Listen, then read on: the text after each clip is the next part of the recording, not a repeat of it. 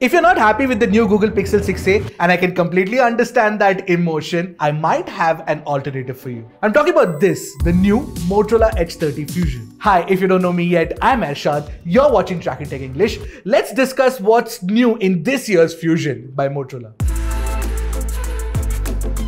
First things first, let me set some context. Last year's Motorola Edge 20 Fusion was fighting in a completely different category, and that is under rupees 25,000. This year, the Edge 30 Fusion Wow, that had to happen. This year, the Edge 30 Fusion has been upgraded. And the Fusion story is completely different this year, whether it's the design, display, battery, or the performance. Now, if you've come this far, don't forget to hit the red subscribe button and the bell icon right next to it to get notified whenever we put out an awesome new tech video starting with the fusion in the design of this product. Just look at this color. Doesn't this look like a calcium Sandoz tablet? Of course, this is a very bold color and not everybody might like it, but you do have other color options, so that's a good thing. The phone is very slim at 7.7 millimeters thickness and it has this very nicely designed camera module too. I really like the in-hand feel of the Motorola Edge 30 Fusion and I do also like the fact that it has a flat top and a flat bottom which means that you can place it on a flat surface like this table that I'm standing in front of and it will stand without any support. I'm sure my videography team shooting this video right now must be really happy about the fact that B-rolls are going to be slightly easier to take. Now as far as the materials used in the construction is concerned, you've got Gorilla Glass 5 on the front, you've got Gorilla Glass 5 on the back and you've got a very sturdy aluminum frame as well. Design wise, I think that the Motorola Edge 30 Fusion is definitely a looker. I dig it, but that's my perspective and design is subjective.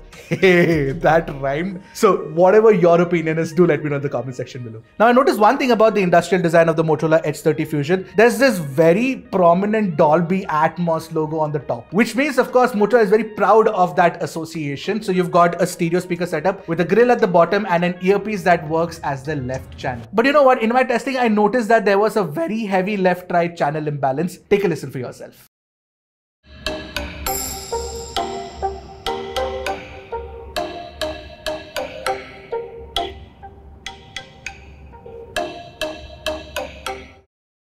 Moving on from the design to the display fusion. Even the display now is curved, which is a rarity in this price range. And that makes the phone feel a lot premium too. Quickly addressing that one major concern that we have with curved display, and that is ghost touches. Surprisingly, in my you know time of two, three days with the Motorola Edge 30 Fusion, I didn't face any ghost touch, which is very, very good. Now talking about the specs of the display, this is a 6.55 inch POLED panel with 1 billion colors and HDR10 plus support out of the box too and it can reach a peak brightness of 1100 nits. You also get an in-display fingerprint scanner which is kind of placed low but it's very fast to unlock and it doesn't have that pixel problem where it unlocks with other person's fingers. Well I didn't have that pixel problem either but a lot of other people did. But I did notice one thing in my time with the phone is that the auto brightness algorithm is extremely aggressive and it would keep dimming the phone at any chance it got. But that's also because Motorola has actually tuned for power efficiency instead of performance, which brings me to the performance and battery fusion of the Motorola Edge 30 Fusion. So fitted inside this phone is a Snapdragon 888 Plus. Of all the SoCs that have come out of Samsung's foundry and made by Qualcomm under the Snapdragon name, the Snapdragon 888 has to be one of the most ill-performing ones,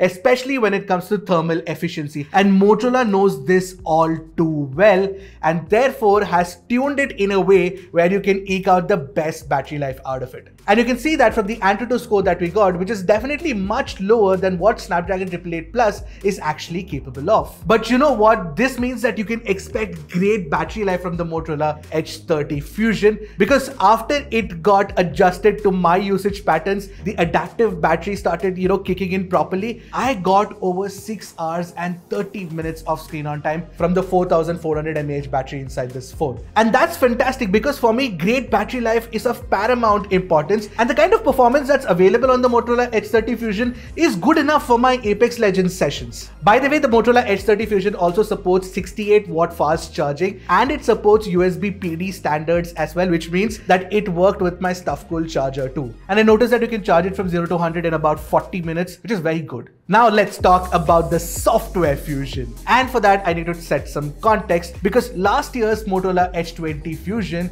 is running not Android 13, not Android 12, but Android 11. Yes, that phone has still not been upgraded. And I think a lot of the blame goes to the fact that it's got a MediaTek Dimensity 800U chip inside. Android upgrades on MediaTek chips have an infamous uh, history of sometimes being slow and clunky, and that seems to have affected the Motorola Edge 20 Fusion. Which is why I feel that Motorola has decided to go with the Snapdragon chip this time, and that's the SD888 Plus. Now the phone is running on Android 12 with the July security patch, and Motorola promises 2 plus 3 years of software upgrades. I really like the tweaks that Motorola makes with MyUX on top of, you know, vanilla Android. It has the right kind of personalizations with Moto actions, and I do like that personalized page as well, the way it is laid out and the kind of, you know, things that you can do with it with respect to changing the font, with respect to changing the color based on the wallpaper theme. All of that is very nicely done. Plus this game time feature which pops up whenever you're playing a game on the phone has this very nice visual indicator in the form of edge lighting to give you an idea of, you know, where the sound is coming from.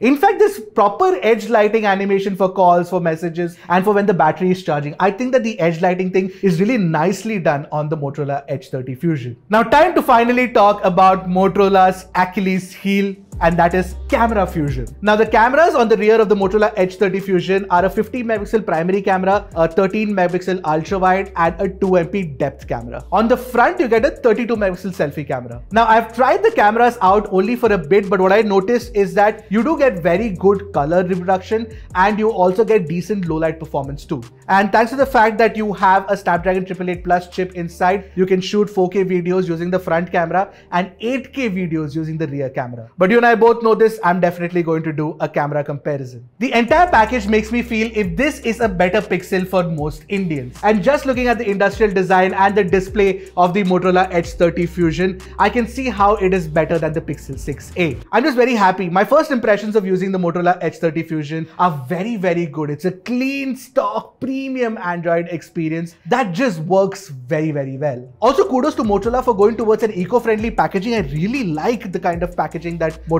has for the phones this time around. Alright, that's it from me. Stay tuned for more. Let me know what you guys think of this new Motorola Edge 30 Fusion in the comment section below. Until next time, this is Arshad signing off. Keep tracking and stay safe.